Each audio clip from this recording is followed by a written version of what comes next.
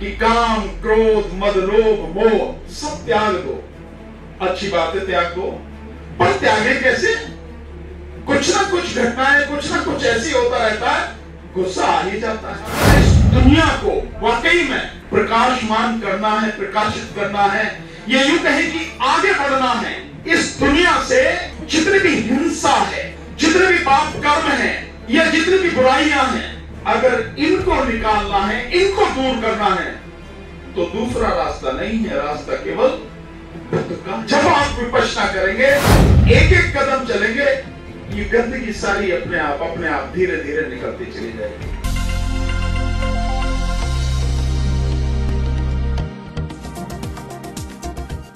करुणा के महासागर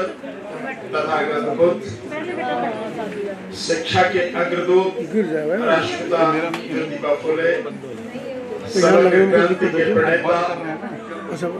शोषितों पीड़ितों नारी जाति के परम पूज्य बुद्ध सत बाबा साहेब डॉक्टर भीमराव अंबेडकर जी के चरणों में कोटि कोटि नमन करते हुए, आज इस कार्यक्रम में आए हुए आदरणीय पूर्व जज डॉक्टर नेपाल सिंह जी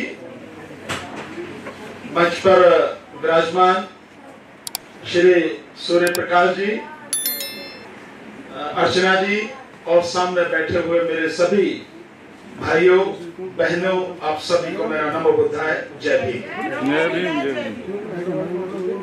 सबसे पहले आप सबको बुद्ध पूर्णिमा की। दो हज़ार छह सौ सड़सठवीं बुद्ध पूर्णिमा की।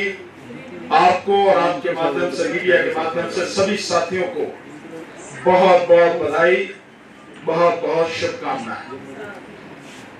साथियों,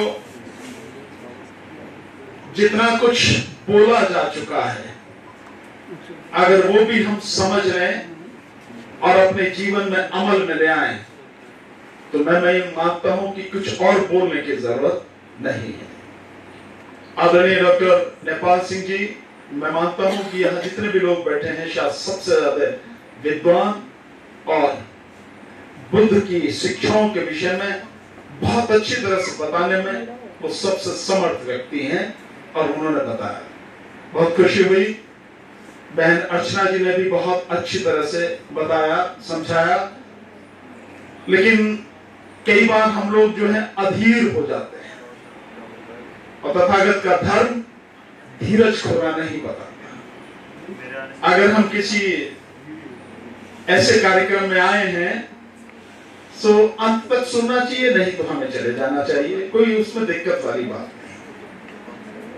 आज आप एशिया की सबसे बड़ी बार, दिल्ली बार एसोसिएशन, उसमें आज बुद्ध जयंती मना रहे हैं, बुद्ध पूर्णिमा का कार्यक्रम मना रहे हैं। तो ये अपने आप में बुद्ध धर्म की तथागत के धर्म की ताकत है। बाबा साहब डॉक्टर अंबेडकर के पुण्य कर्मों का फल है। अन्यथा आप समझते हैं कि और आज इस समय जो माहौल चल रहा है, आप उसको देख ही रहे हैं। साथियों, मैं बीए में पढ़ता था।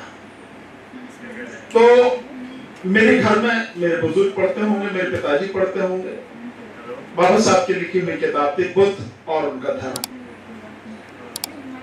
तो मैं, क्योंकि बीए में पढ़ता था, थोड़ा समय मिल गया तो एक बार वो किताब मुझे दिखी, मैंने वो किताब पूरी पढ़ी। शुरू करी तो पूरी पढ़ी मैं और उसको पढ़ने के बाद ही मैं समझ पाया कि बाबा साहब, डॉक्टर अंबेडकर ने हमारे लिए कितना बड़ा काम किया।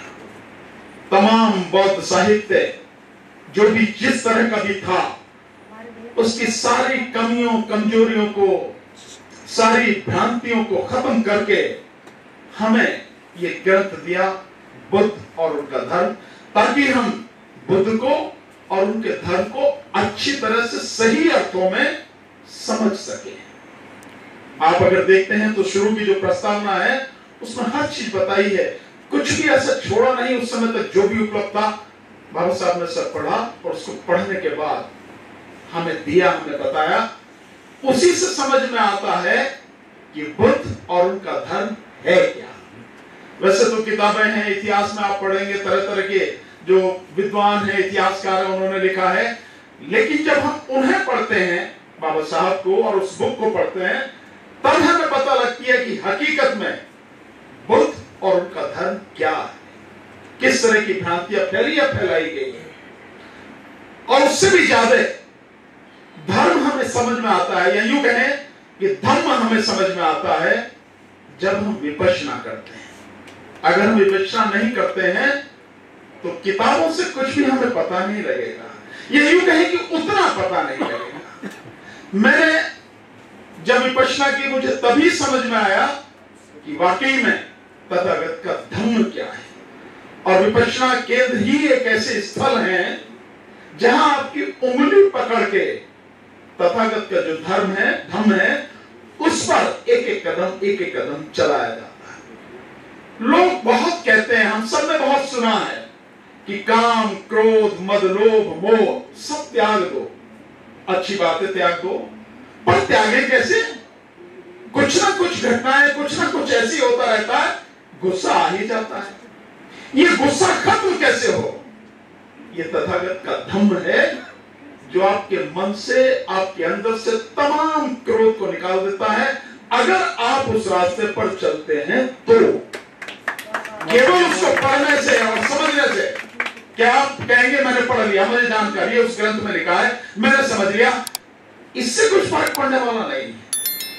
जब आप विपचना करेंगे एक एक कदम चलेंगे ये गंदगी सारी अपने आप अपने आप धीरे धीरे निकलती चली जाएगी। जिन साथियों ने की है, उन्हें मालूम है कि अंदर से गंदगी निकलती है तो दिखती भी है कैसे निकल रही है। इसके अलावा लोग कहते हैं कि लोभ नहीं करना चाहिए। बिल्कुल सही बात है। लेकिन लोग छोड़ नहीं पाते हम जैसे वकील हैं, आप सारे साथी, मोस्टली साथी वकील हैं। अगर कोई क्लाइंट आ जाए, फ़ीस लेके आ जाए तो कहें बाकी चीज़ बात में करेंगे। पहले फ़ीस लेके जेब में रखो, पैसे बाकी बाद में ये जो चीज़ है, ये जो लोभ है, हम इससे कैसे मुक्त हो? वो रास्ता तथागत ने बताया। हमारे अंदर से तृष्णा, हमारे अंदर से जितनी भी बुराइयाँ हैं, ये सब कैसे निकल जाएँ? और कैसे हम मन से पूरी तरह से विशुद्ध हो जाए। जैसे भी आदरणीय डॉक्टर नेपाल सिंह जी ने बताया ना, सह चित्त परियोदपनन जो उसमें बताया ना कि एक बुज़ुर्ग महिला तथागत के पास आई, उनसे पूछा कि भाई, हमें तो धर्म बहुत सीधे शब्दों में समझा दो बहुत ज़्यादा प्रकांड विद्वानों की बातें समझ में नहीं आती। तो तथागत ने कहा कि धर्म तो ऐसे होना चाहिए, अगर समझ में नहीं आएगा तो धर्म क्या है? तो धर्म अगर आसान शब्दों में समझ में आए, वही तो धर्म तभी तो लोग धारण करेंगे। समझ में नहीं आएगा तो कोई अर्थ नहीं। तो तब उन्होंने वो समझाया, जो डॉक्टर नेपाल सिंह जी ने बताया।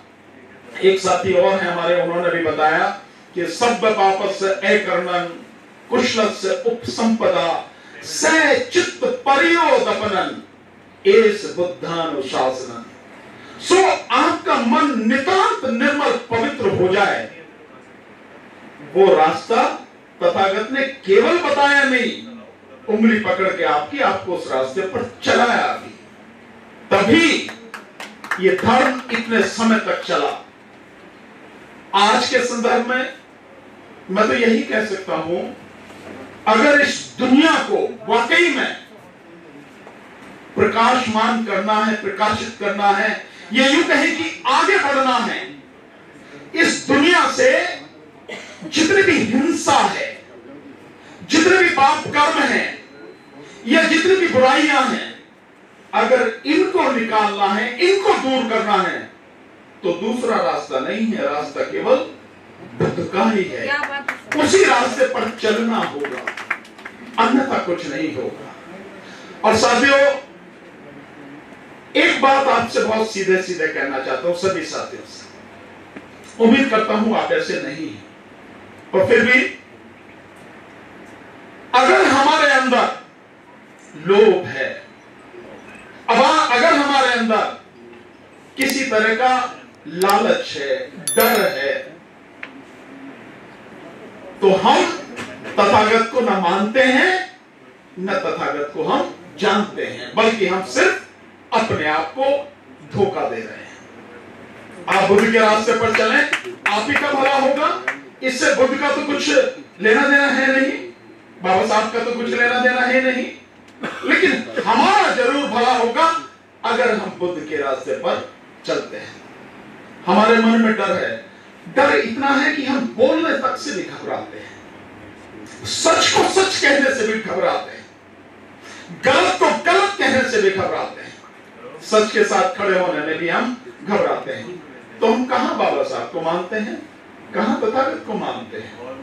अगर ये डर हमारे अंदर है। तो ये ऐसी चीज़ें हैं जो हमारे अंदर से जिस दिन निकल जाएँगी, उस दिन वाकई में हमारा रास्ता प्रशस्त होने लगेगा और तथागत की शिक्षाओं को जैसे जैसे हम अपने जीवन में अपनाने लगेंगे वैसे वैसे हमारा जीवन और प्रकाशित होने लगेगा, गंदगी दूर होने लगेगी। तो तथागत का धम केवल कहने की चर्चा की बात नहीं है। चर्चा ज़रूरी है, क्योंकि लोगों को कई बार जब तक सुनेंगे नहीं, समझेंगे नहीं।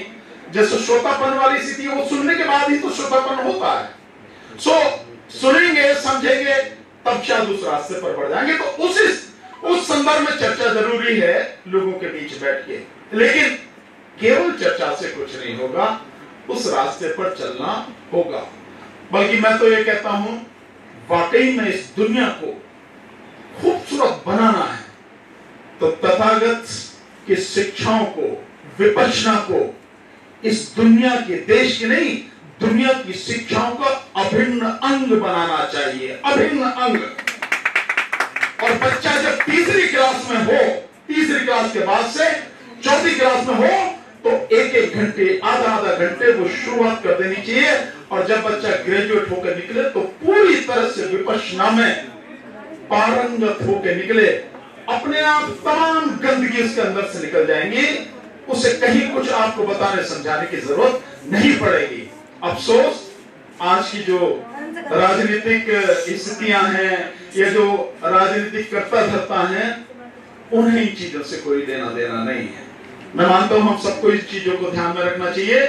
और जब भी मौका मिले, या यूँ कहें कि हमें लगातार प्रयास करना चाहिए और उस लक्ष्य को पाने के लिए वो रणनीति भी बनानी चाहिए कि जब हमें मौका मिलेगा, हम विपचना को, तथागत की शिक्षाओं को शुद्ध रूप में शिक्षा का एक अभिन्न अंग बनाएँगे और इस देश को वाकई में भारत को प्रबुद्ध भारत बनाएँगे और विश्व को खुशहाल और तरक्की पर चलता हुआ बनाएँगे।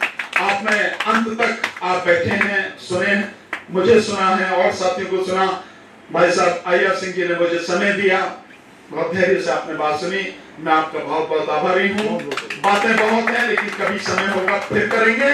आज इतना ही। नवोध्याय जय भीम।